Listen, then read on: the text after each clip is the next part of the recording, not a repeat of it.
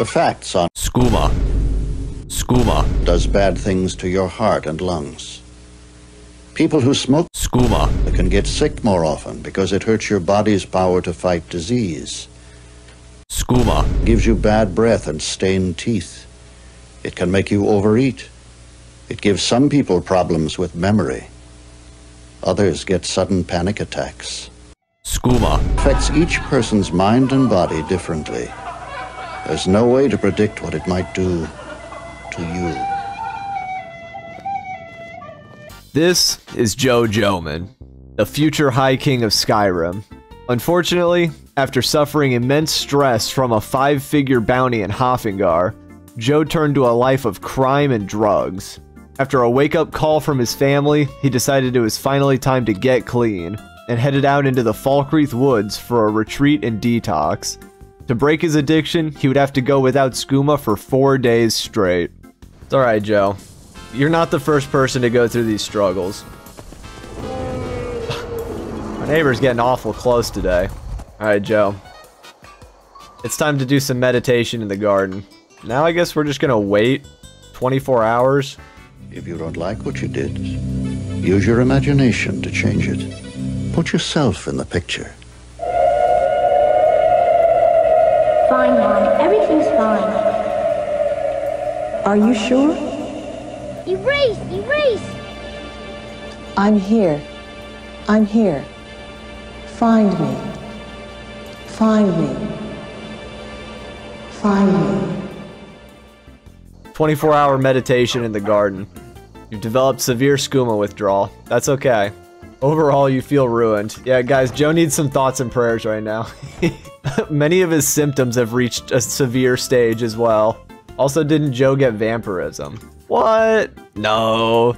We got this disease called sanguinare vampiris. That's what the doctor said. I mean, we're not like a vampire or anything. All right, Joe. Time for another 24 hour meditation session. Keep looking till you find me. I'm here. I'm here. Find me.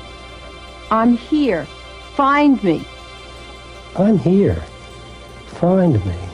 I'm here. Find me. I'm here. Find me. Severely exhausted again. Get some vegetables in you, Joe.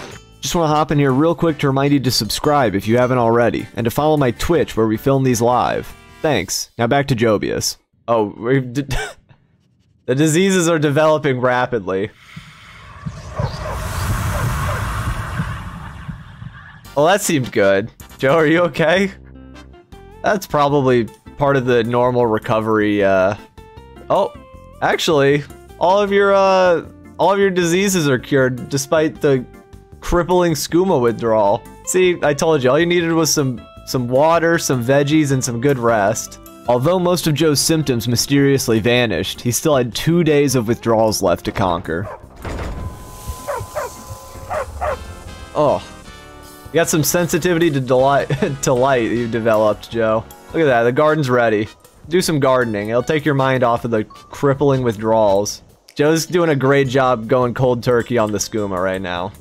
Actually, all of the weird diseases that he contracted have seemed to have cleared up. Just from a good night's rest and nothing else. He has developed some kind of permanent damage to his eyes, though. But it'll be alright. Joe, are you okay? Let's get let's get you inside, buddy. He's still a little wobbly. okay. Come on, buddy. Easy does it. Let's get you let's get you inside, bro. That oh. Take your time. Take your time. I know you took a lot of damage to your joints, muscles, and ligaments. On the third day, Joe couldn't walk more than 10 feet without collapsing. Despite this, he cooked up another batch of potions to clear his head. Due to his aggressive withdrawals, this batch of potions turned out to be by far the worst he had ever made.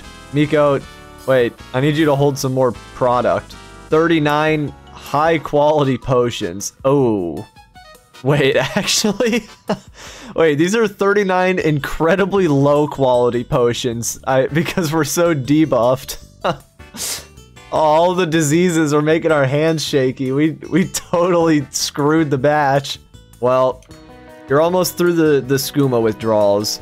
We'll just we'll do another 24 hour meditation period. I'm here to help you. Find me. Keep looking till you find me. I'm here. I'm here. Find me. Find me. Find me. I'm here. I'm here. Find me. Find me. You developed crippling skooma withdrawal. Like we're actually on the verge of dying from our basic needs. Yeah, we're actually... the game is telling me that we're dying. Joe, it's okay. Like I said, all you need... Hey, he feels comfortable. all you need is some vegetables. Some clean water and some veggies. Maybe some bread. It'll buff right out. You'll be fine. Still exhausted, but that's okay. I'm sh- Oh, he's still fine. He's still just a little dizzy. He'll be okay. Maybe cure the dying. Like I said, nothing a little rest can't fix. By the fourth day, Joe's withdrawals were finally weakening. However, the damage on his body was building up, and he had picked up another odd symptom. No matter how much food and water he consumed, he was still hungry and thirsty. So, we decided to head into town for more sustenance. Isn't he technically all- Ketchup! uh... Alright.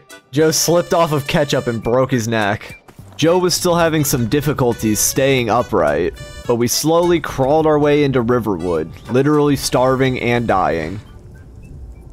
All this to become Thane of Solitude. Yeah, it's kind of crazy how they made this quest so difficult. It's weird how they made you, uh, like have to build up a skooma operation and then get addicted to skooma and overcome it. It's weird how they put that in the game like that. Hello, everyone. You to talk to me that way. I'm not feeling the best. Could I please have a key to the bath? Room. Talk to Delphine. Excuse me, gentlemen.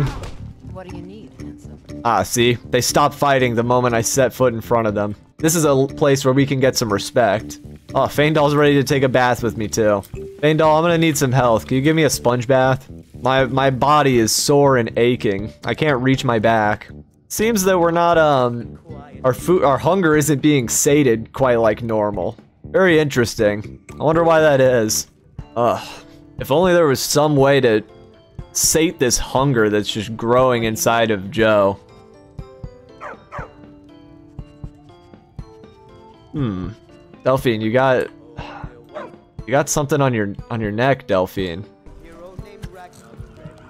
Oh, okay, that was actually on your ankle. Oh shit. I'm sorry. No, Faendal, stop. okay, we gotta go. We gotta go back to rehab. We're still not quite over our withdrawals. It's part of the addiction. Um, we just can't quite be trusted around people yet. It's okay, Joe. It happens to everybody. Since Joe was still suffering from bizarre symptoms, he turned to another powerful aspect of rehab religion. Since all of this was a result of worshipping Sanguine, the Daedric prince of hedonism and debauchery, Joe decided it was time to talk to a priest and reunite with his faith in Kynareth. Right now, it's all about you, Joe. We'll get you a little nap. And then I think it might be time to take Joe to an actual doctor. You developed moderate skooma withdrawal. Hmm.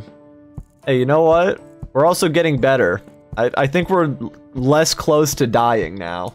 We'll go talk to our general practitioner in Whiterun. Mild skooma withdrawal.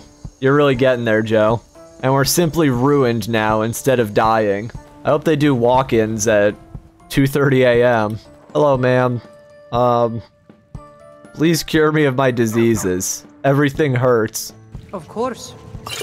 Joe, I, your eyes are still red. I don't, I don't think it worked. Well, if the doctor can't help you, then it's time to pray. Since Joe has already been abandoned by Kynareth twice before, he needed to really prove his loyalty if he wanted any chance of divine intervention. So, we talked to the priestess and asked if there was anything we could do to deepen our bond with Sky Mommy. Welcome, child. Danica, I want to thank you for curing me of my horrendous skooma withdrawals. Is there anything I can help with the temple? The Gildergreen, yes. It's a bit of an eyesore at the moment. A big dead tree isn't very inspiring if you're coming to worship the divine of wind and rains. Is there any way to revive the tree? Trees like this never really die, they only slumber. Oh, so we just need to wake it up. Bought it like an alarm clock or something? I've thought about that. It's called Nettlebane. It's held in a Hagraven nest called Orphan Rock. I could speak with them. Your spirit is strong. Kynareth's winds will guide your path. Without ever looking us in the eye, our doctor sent us on a mission from God to steal a legendary alarm clock from a bird person to wake up a dead tree. This seemed perfectly logical to Joe, so we made our way towards Orphan's Rock. Ah, the beauty of nature.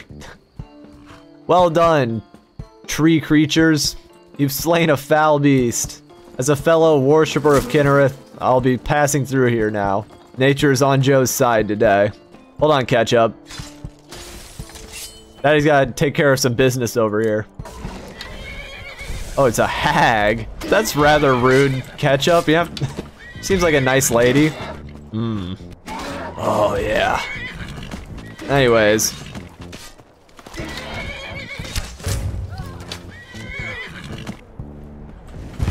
Oh my god! Wait, ma'am! Holy shit, they're firing artillery! Miko! Oh, well I'm out of arrows. Yeah, don't mind me, guys. I'm just gonna do some casual looting. Alright, fine, I'll go talk to her. Oh, good work, Miko. I don't know if I have the mental strength to look a Hagraven in the eyes. Oh, Nettlebane. That looks nice. Well, that was easy. First catch ketchup?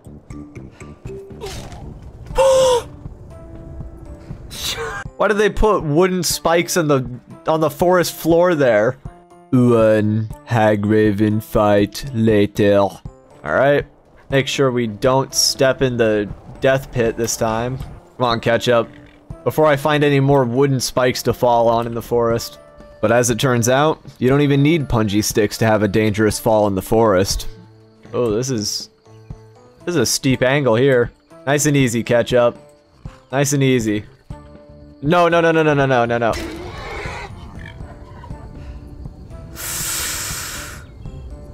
Oh, Unfortunately, Ketchup suffered a flat tire, putting Joe's fifth mount out of commission.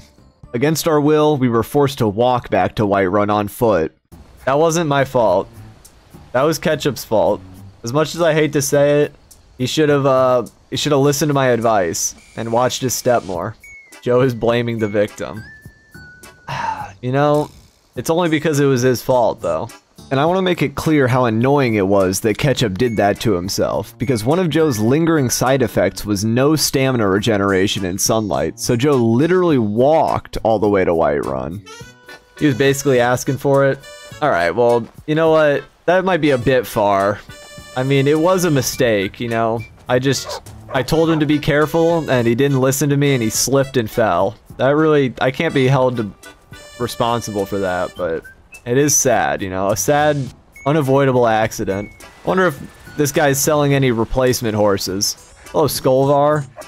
How old are your horses? The horse I got for sale is seven years old. She's got a lot of spirit, that one. We've taken to calling her Queen Alfsigr, or just Ali short.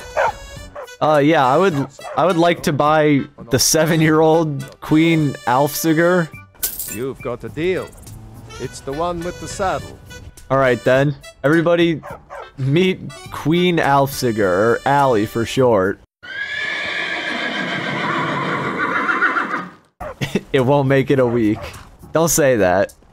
Go on, don't say that. So, have you got the Nettlebane back from those filthy Hagravens yet?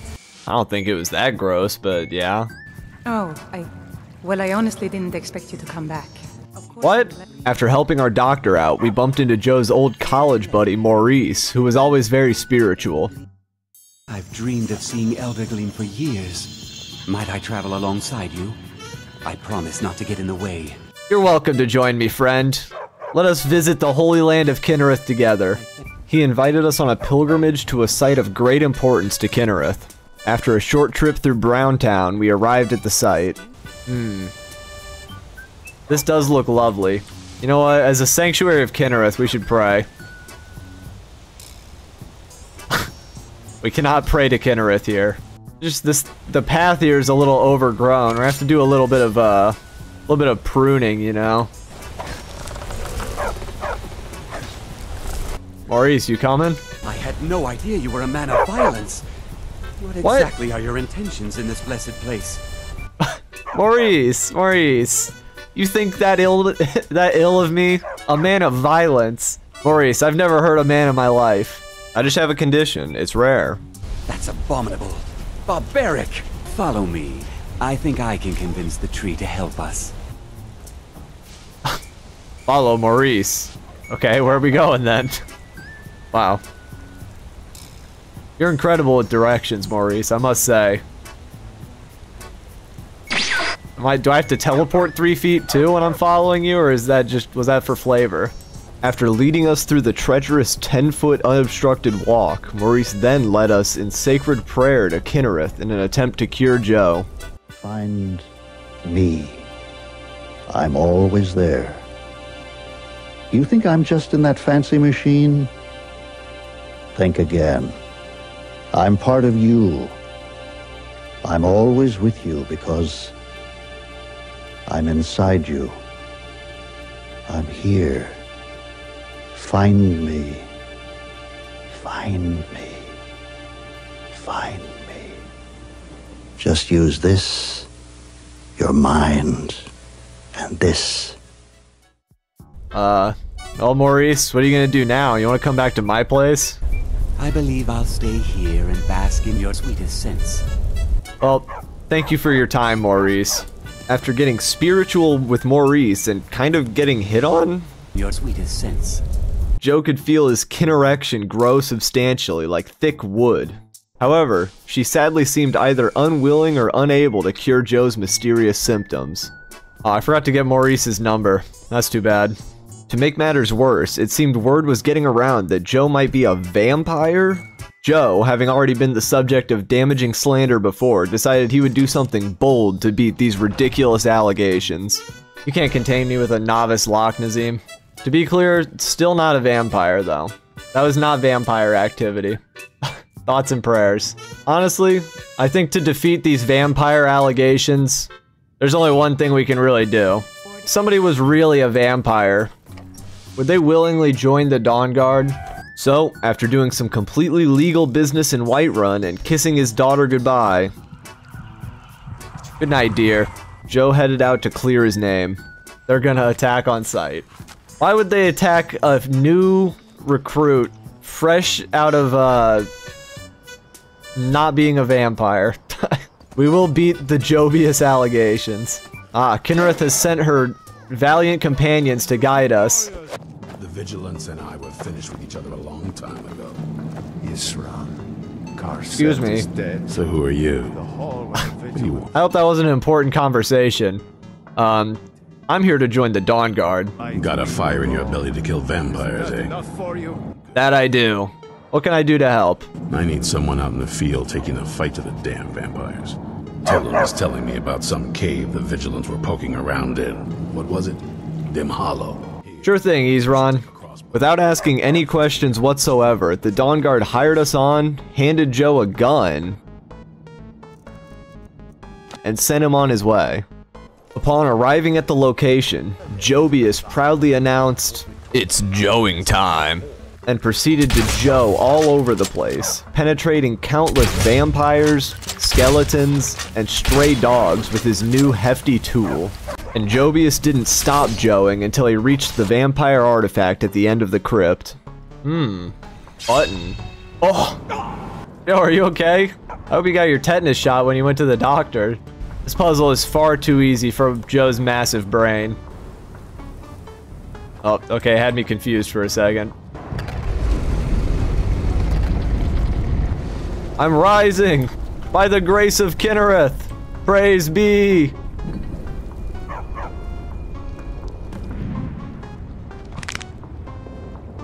Uh, hello, ma'am. Who sent you here?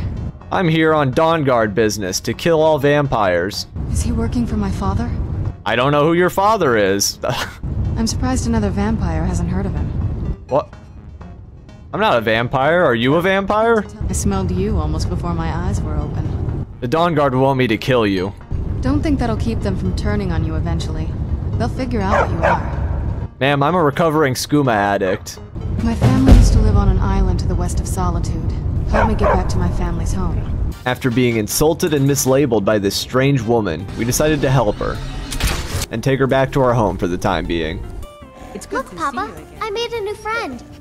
What? A fox? Could I keep him? Please? Um, alright. You have to take care of him though, Lucia. I s- see Serana and Mule are immediately getting acquainted. They just sat down and she crossed her arms. Mule, I can explain. Let me talk to Lucia. Lucia, you can keep the fox. It sounds like it has asthma. You okay, little guy? Lucia, I think you should take that thing to the vet. Well, Mule. Do you need anything, my love? Um, I can explain. This is just a um a woman that I found in a cave, and she's also a, a vampire. And I'm I've been hired to kill her, so she's gonna be staying in our home for a day or so. Uh, they seem like they're good friends. Serana, over here is where my my daughter Lucia sleeps. She has she has delicious blood.